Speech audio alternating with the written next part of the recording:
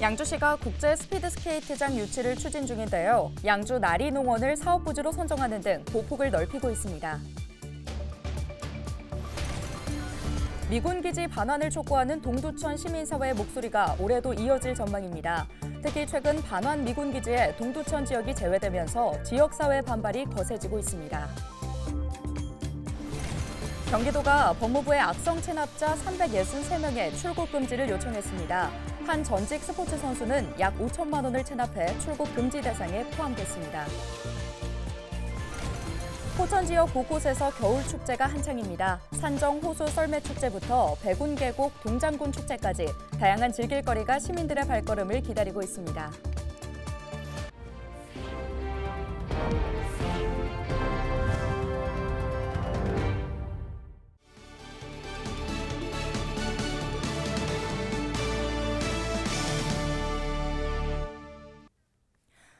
시청자 여러분 안녕하십니까? 헬로티비 나라뉴스입니다. 대한체육회는 조선왕릉의 세계문화유산 등재로 철거해야 하는 태릉 선수촌 내 국제 스케이트장을 대신할 새로운 스케이트장 건립을 위해 지자체를 대상으로 공고를 냈습니다. 경기도에서는 양주시와 동두천시가 유치전에 뛰어들었는데요. 양주시는 부지를 선정하고 계획을 내놨습니다. 자세한 내용 김소영 기자 연결하겠습니다. 김소영 기자, 양주시가 국제 스케이트장 부지를 선정했다고요? 네, 그렇습니다. 양주시는 국제 스케이트장 부지를 선정하고 공모 사업에 참여하고 있는데요. 최근 부지를 확정했습니다. 나리농원 약 10만 제곱미터를 유력 후보지로 지목했는데요.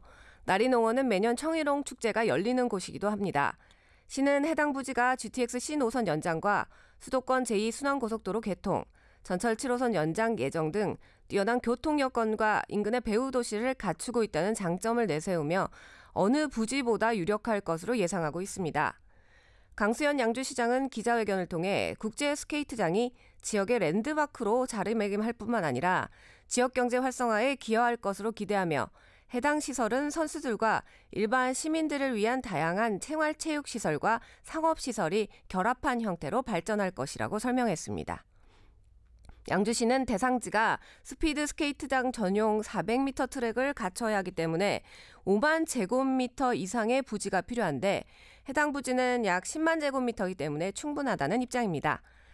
대한체육회는 다음 달 8일까지 제안서를 받아 현지 실사 등을 거친 뒤 4월에서 5월 최종 부지를 선정할 예정입니다. 네, 포천시도 6구단 부지를 어떤 형태로 개발할지 구체적인 방향이 잡혔다고요. 네, 포천시도 지난주 육군단 부지 활용에 대한 설명을 진행을 했습니다. 육군단 부지는 포천시의 주요 경제권인 포천동과 소우릅 사이에 위치해 지역 발전 활용 가치가 매우 높은 핵심 요충지로 70여 년 만에 반환이 됐습니다. 포천시와 국방부는 지난해 11월 18일 육군단 부지 반환을 위한 제4차 상생 협의회를 개최하고 육군단 부지에 배치된 부대를 기부대 양여 방식으로 지역 내 군 유휴지로 이전 재배치하기로 협의를 했습니다. 육군단 부지의 전체 면적은 89만 제곱미터가 넘고 이 중 시유지는 26만 제곱미터 정도입니다. 현재 시는 공식적으로 군사시설 이전 협의 요청서를 국방부에 제출했으며 행정적 절차를 진행하고 있습니다.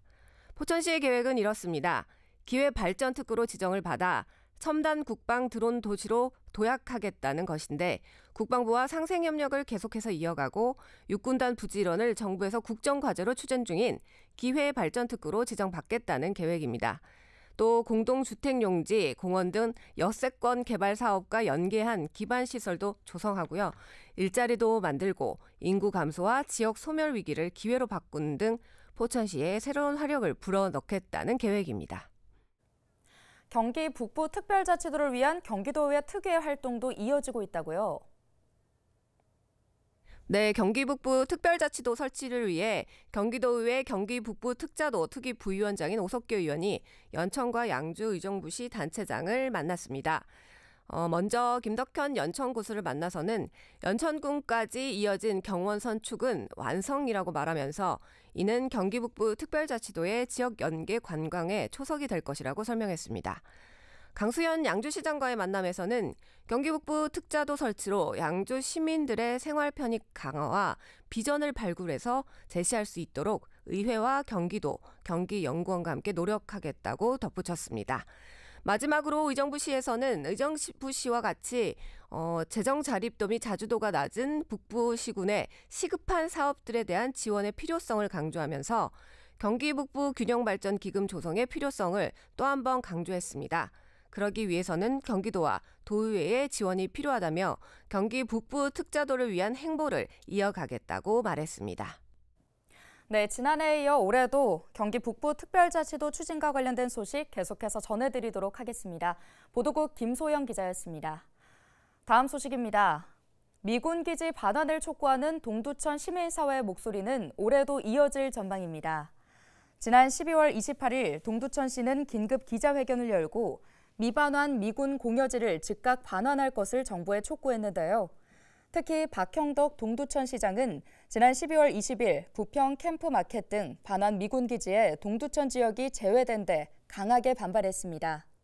박 시장은 정부의 이번 결정은 모든 동두천 시민을 무시한 처사라며 정부의 실질적인 응답이 있기 전까지 시민들과 연대해 대정부 투쟁에 나설 것이라고 강조했는데요. 현재 동두천 지역에는 모두 4개의 미군 기지가 자리하고 있습니다. 미군 기지는 시 전체 면적의 18%를 차지하고 있는데 동두천시는 지난 70년간 미군 기지 주둔으로 약 22조 원의 피해를 입었다고 주장하고 있습니다. 동두천 시민사회는 미군 기지의 반환과 동두천 지원특별법 제정 등을 정부에 요구하고 있습니다. 특히 동두천시 지역발전 범시민 대책위원회는 지난해 12월 미군 기지 반환과 정부 지원을 촉구하며 용산 국방부 앞에서 시민 총궐기 대회를 열기도 했습니다. 경기도가 법무부에 악성 체납자 363명의 출국 금지를 요청했습니다. 경기도는 지방세 3천만 원 이상 체납자 중 외화 거래 내역 등 전수조사를 거쳐 최종 출국 금지 명단을 확정했는데요.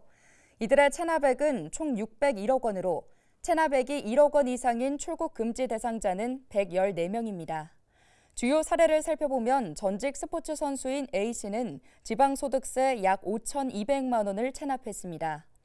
특히 A씨는 수차례 분남 약속을 어겼을 뿐만 아니라 수시로 해외를 드나든 것으로 확인됐는데요. 체납액이 약 40억 원에 이르는 B씨는 2022년도에도 명단 공개 대상자였는데 최근까지 해외 출입국 기록이 확인돼 출국 금지 대상 명단에 포함됐습니다.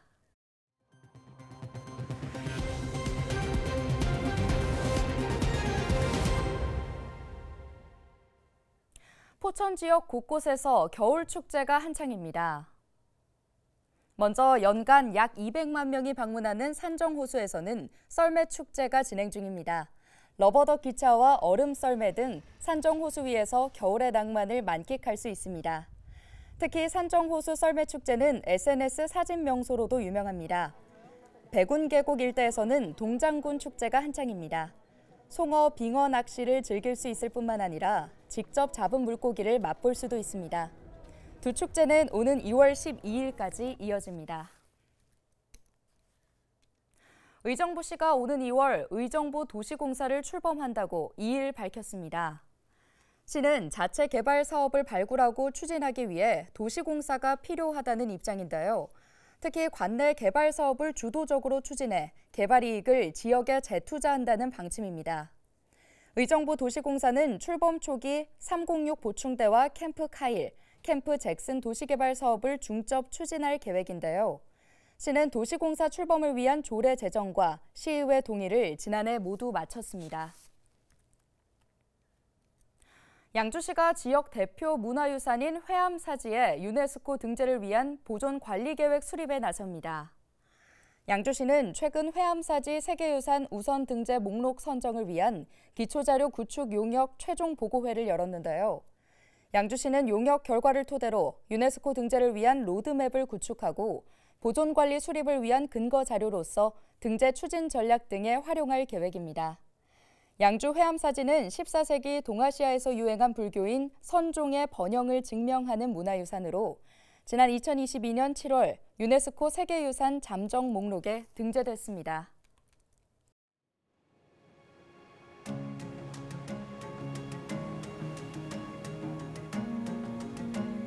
2024년도는 모든 사람이 건강하고 또 정직하고 착한 사람들이 어, 건강하게 또 밝게 살아갈 수 있는 나라가 되길 원하고 저희 가족 모두 어, 24년도에는 더욱더 건강하게 새해를 지내길 바랍니다. 새해 복 많이 받으세요.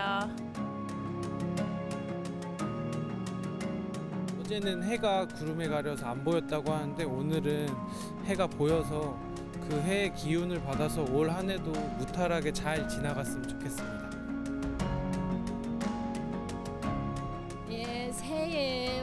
아들 딸을 사업하는 일이 잘 됐으면 좋겠고요. 온 가족이 건강하고 행복하게 잘 자랐으면 좋겠습니다. 저도 새해 꼭 건강 잘 챙기겠습니다. 모두 행복하세요. 2024년도에는 어, 저뿐만 아니라 제 주변 분들도 그렇고 모두 다 이제 행복하고 또 더 건강하고 또 돈 많이 많이 버는 그런 한 해가 됐으면 좋겠고요. 2024년 정동진에서 일출을 촬영하면서 어, 마음속으로 너무 기쁘고 행복했습니다. 2024년에는 저희 대한민국 모든 국민들이 건강하고 행복한 사회가 됐으면 좋겠습니다. 여러분 행복하세요.